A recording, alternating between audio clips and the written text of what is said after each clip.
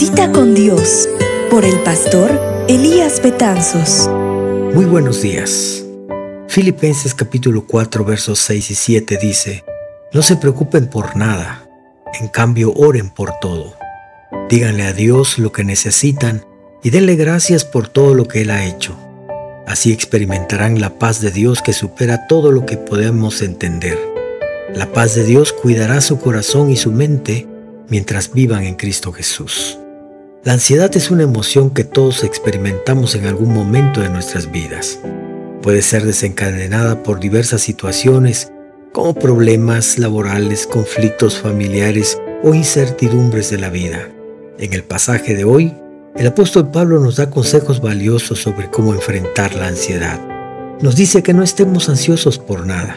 Esto puede parecer fácil decirlo, más difícil hacerlo, pero Pablo nos da una estrategia para lograrlo.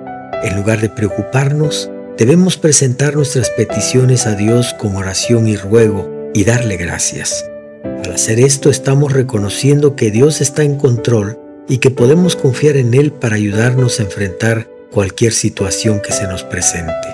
Pablo nos dice que al hacer esto, la paz de Dios que sobrepasa todo entendimiento cuidará nuestros corazones y pensamientos en Cristo Jesús.